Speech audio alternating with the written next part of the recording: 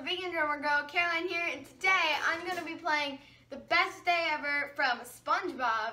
And I mean, it's not from the musical, but I did see SpongeBob on Broadway and it was amazing. And I've been watching the show my whole life, so might as well switch things up a little bit, play something a little bit different, and play the best day ever.